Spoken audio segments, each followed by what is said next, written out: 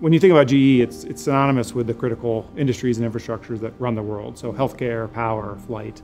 Uh, and we think about Verizon, they're a key enabler into the communications piece of that. So when we look at building out this 5G testbed at GE Research, a critical conversation has been how do we think about moving the capability of those critical industries with this transformative communications network.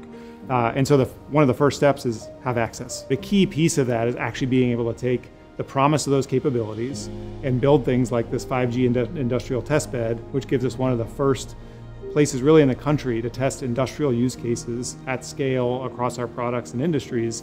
And so when you think about something like a wind farm, uh, today those are all physically connected. Uh, so if I actually start enabling things like industrialized controls over a wireless communication protocol like 5G, I can now open up the possibilities of I can do you know full wind farm control. I can put more sensors on the blades of those turbines. I can get that data faster, more reliably, more quantity, which enables better analytics, better outcomes.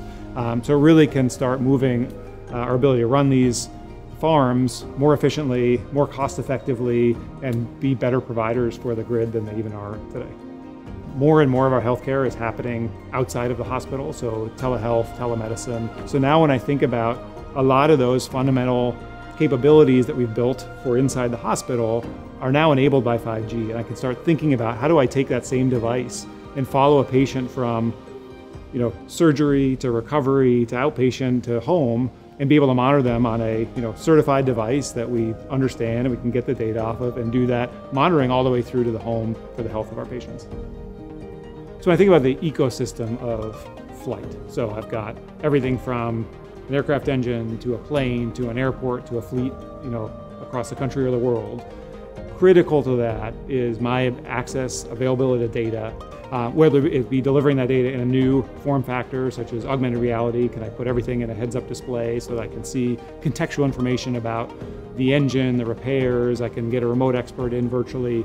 All of that is enabled by our ability to move bits quickly, reliably, uh, and more and more connected across that network which is something that now 5G is beginning to enable where we need it.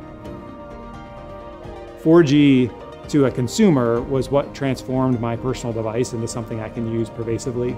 5G is really about industry. Industrial use cases will be the killer apps for 5G, and it's all about what's under the hood. My name is Ben Verschueren, and I run the Forge Lab at GE Research.